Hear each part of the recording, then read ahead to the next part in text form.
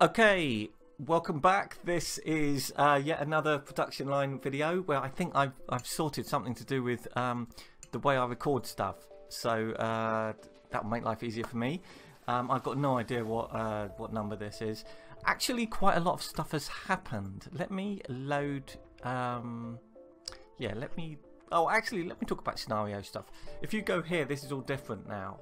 So previously, it would just be like play mission or edit, and now you can still do that, which is considered sandbox.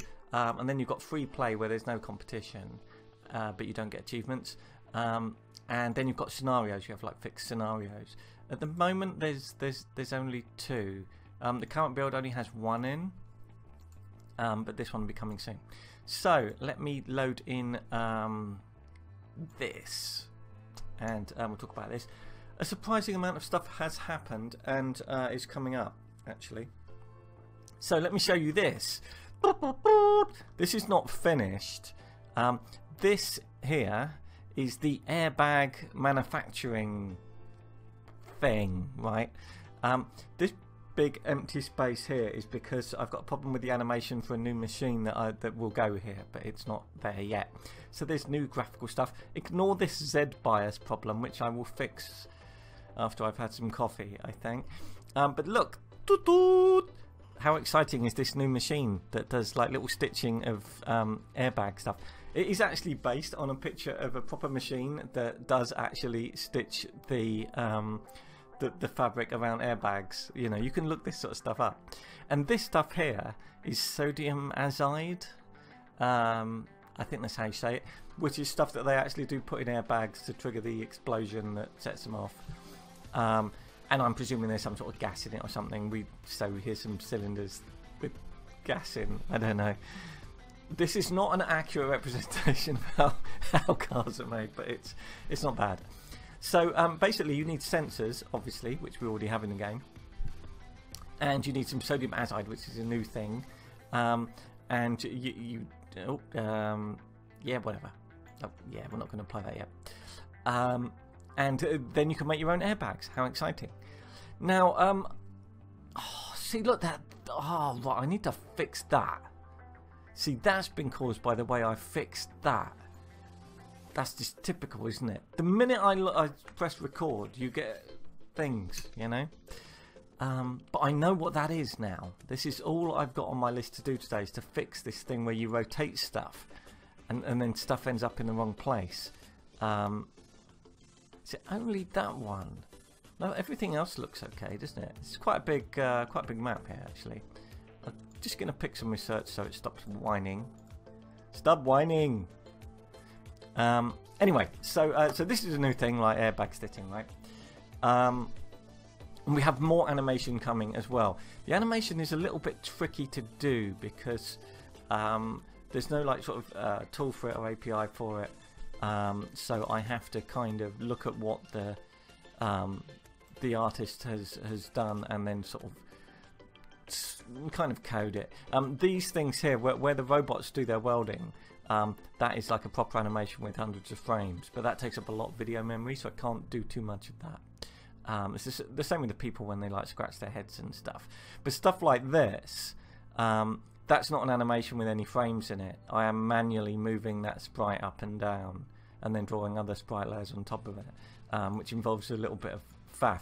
But it means I don't use up that much uh, video memory, so I can get lots of different things on the screen um, and a lot of variety. Um, I changed some of these actually, some of these colours when you zoom out. Uh, because some people were saying they couldn't tell the difference between some of them um, if if uh, if they were colorblind. So some of those have changed, and I think I told you before that they they match up with with this stuff here. Um, so I've now got those to do. Yeah. Anyway, blah blah blah. More animation is coming, and we have airbag stitching, and we will have airbag assembly as well. Um, and we have scenarios. Something that's that has changed. There used to be a bug that nobody noticed, and ah, it, it just happened then. That Ah! Come on, come on, you can do it.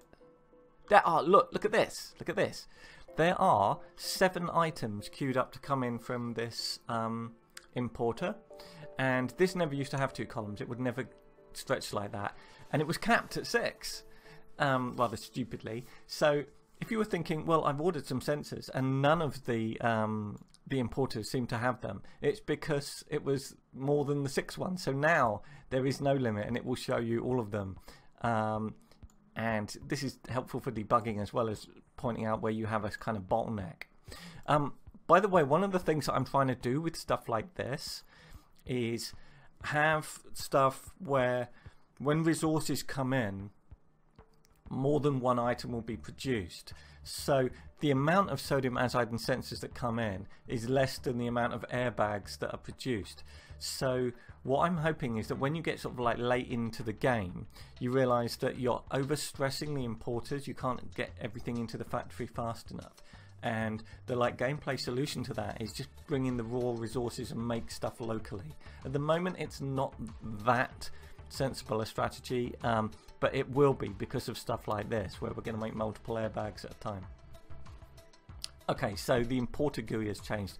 You may have noticed if you were eagle-eyed um, that look, not sure if you saw that, but that was coloured paint. Oh yes, um, which I maybe I should make a bit more expensive than um, um, coloured paint. Oh, this is paint, isn't it? Yeah. So um, the final coat of paint, which is here, uses coloured paint, and um, undercoat just uses the normal like white stuff that's in fact grey. Maybe I should change that. Um, anyway, I thought why not? It kind of makes sense for them to be different things, and also that means when you've got a um, a single uh, paint thing that does both, it's going to uh, have more trouble sort of juggling its oh, excellent juggling the um, resources it needs. I have completed the objectives here. Check it out. 3,000 budget cars done. Um, but I'm going to continue playing just for laughs anyway. Um, so that here we've got coloured paint coming in.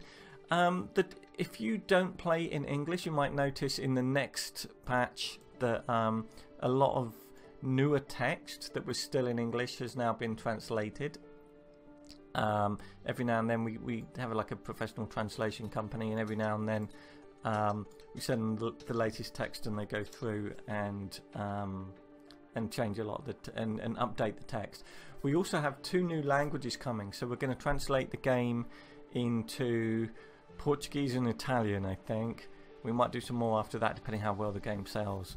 Because uh, it's very expensive to get that done, and you you need to sell a load of copies, and you know. Anyway, so um, we're getting that done. Translation, color paint, in Portuguese. Oh, yeah. yeah, so I'm doing things. Wow.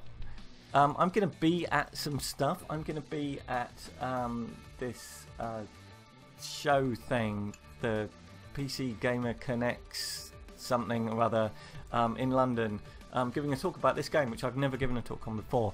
Um, talking about how the game was made and designed. Um, basically, uh, look, I made a game and this is it, and this is what it's like. Talk in London um, I'll put up a link to it. Uh, it's rubbish with details. I need to write my talk. I'm going to do that tomorrow. Um, also, we're going to be at the PC Gamer Weekender, which is also in London, Olympia this time. Uh, and that is, I don't know when that is. Is it the end of January, start of February? It's at some point. I'll put up a link. Anyway, so we're going to be there. We're going to have a little booth um, with um, with two PCs, and I'll be there. Um, and come say hello on the first day, and I'll be really optimistic in the morning and say, hey, you know, thanks for supporting the game. I'm Cliffski. Yeah, what do you think? Um, and then at the end of the second day, I'll just want to jump under a bus and I'll be sat in the corner sobbing um, because I don't enjoy shows. Uh, but I will be, but I will be there. Um, and uh, yeah, you know, come along and try the game if you haven't already tried the game. Um, or better still, just buy it. I mean, come on, come on, buy it. Um, someone was telling me they think it should cost more. I don't know. Um, I think it should cost more too. It's it's currently seventeen dollars ninety nine.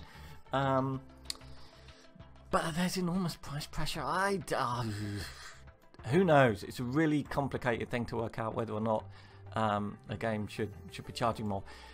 Anyway, if you just come across this video randomly and thinking, what is all this about?